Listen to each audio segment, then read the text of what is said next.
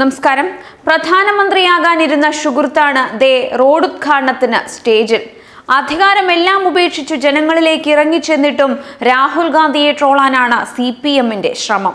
വയനാട്ടിലേക്ക് മത്സരിക്കാൻ എത്തിയതു മുതൽ രാഹുലിനെ ട്രോളി മരിക്കുകയാണ് ഈ കൂട്ടർ. കേരളത്തിൽ അടപടലം പൊട്ടിപ്പൊളിഞ്ഞിട്ടും പുച്ഛം രാഹുലിനോട് മാത്രം. ഒറ്റക്കെട്ടായി നിൽക്കേണ്ടവർ കൂകി തോൽപ്പിക്കുന്ന അവസ്ഥയാണിപ്പോൾ കുന്നമംഗലത്ത് കാണുന്നത്. അഗസ്ത്യൻമൊഴി കുന്നമംഗലം റോഡ് നവീകരണ പ്രവൃത്തിയുടെ ഉദ്ഘാടന ചടങ്ങിന്റെ ഫ്ലക്സിൽ മുഖ്യ അതിഥിയായി വയനാട് എം പി രാഹുൽ ഗാന്ധിയുടെ പേരും ചിത്രവും ഉൾപ്പെടുത്തിയതിൽ വിവാദം പുകയുകയാണ്. ജി സുധാകരൻ ഉദ്ഘാടകനാകുന്ന ചടങ്ങിൽ രാഹുൽ ഗാന്ധി മുഖ്യ അതിഥിയാകുമെന്ന് വ്യക്തമാക്കിയുള്ള ഫ്ലക്സ് വിവിധയിടങ്ങളിൽ സ്ഥാപിച്ചിരുന്നു. എന്നാൽ രാഹുൽ ഗാന്ധി പങ്കെടുക്കുമെന്ന് അറിയിക്കാതെയാണ് ചടങ്ങിൽ പേരുൾപ്പെടുത്തിയത് എന്ന വാദവുമായി കോൺഗ്രസും രംഗത്തെത്തിയിരിക്കുകയാണ്. ഇത് അദ്ദേഹത്തെ അപമാനിക്കാനാണെന്നാണ് കോൺഗ്രസിന്റെ വാദം. ഇങ്ങനെയൊരു ഒരു ചടങ്ങ് സംബന്ധിച്ച് രാഹുലിന്റെ വയനാട്ടിലെയോ മുക്കത്തെയോ ഓഫീസുകളിൽ അറിയിപ്പ് ലഭിച്ചിട്ടില്ല എന്ന് Wayanad D president I C Balakrishnan പ്രതികരിക്കുന്നു. രാഹുൽ ഗാന്ധി പങ്കെടുക്കുന്നുണ്ടെങ്കിൽ കോഴിക്കോട് വയനാട് മലപ്പുറം ഡി സി സികൾക്ക് മുൻകൂർ അറിയിപ്പ് ലഭിക്കും.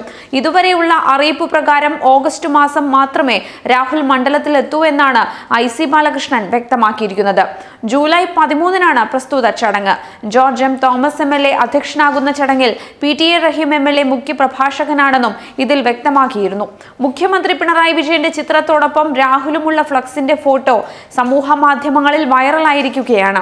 രാഹുലിനെ ക്ഷണിച്ചിട്ടുണ്ടോ എന്ന് അറിയില്ലെന്നും എത്തുമെന്ന് അറിയിക്കാത്ത ചടങ്ങിൽ രാഹുലിന്റെ ചിത്രം സഹിതം ഫ്ലക്സ് വെച്ചത് ദുരുദ്ദേശപരമാണെന്നുമാണ് കോൺഗ്രസ് നേതാക്കൾ പ്രതികരിക്കുന്നത്. പ്രസ്തുത റോഡിന്റെ ഭൂരിഭാഗവും കോഴിക്കോട് ലോക്സഭാ മണ്ഡലത്തിലായിരിക്കെ അവിടുത്തെ എം പിയായ എം കെ രാഘവനെ ഉൾപ്പെടുത്തിയിട്ടുമില്ല. എന്നാൽ കുന്നമംഗലം എം എൽ എയെ ഉൾപ്പെടുത്തുകയും ചെയ്തിരിക്കുന്നു.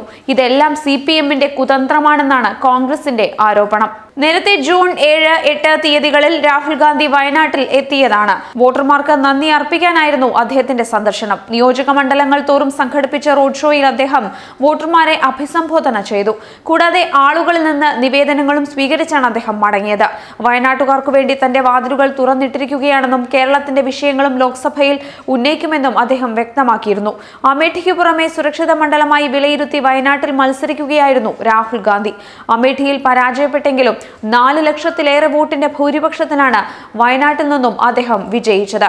പ്രസ്തുത റോഡിന്റെ ഭൂരിഭാഗവും കോഴിക്കോട് ലോക്സഭാ മണ്ഡലത്തിലായിരിക്കെ അവിടുത്തെ എം പിയായ എം കെ രാഘവനെ ഈ ഉദ്ഘാടന ചടങ്ങിൽ ഉൾപ്പെടുത്തിയിട്ടില്ല എന്നും സമൂഹ മാധ്യമങ്ങളിൽ വിവാദമുയരുന്നുണ്ട് കുന്നമംഗലം എം എൽ എയെ ഉൾപ്പെടുത്തിക്കൊണ്ടാണ് ഫ്ലക്സ് ബോർഡ്.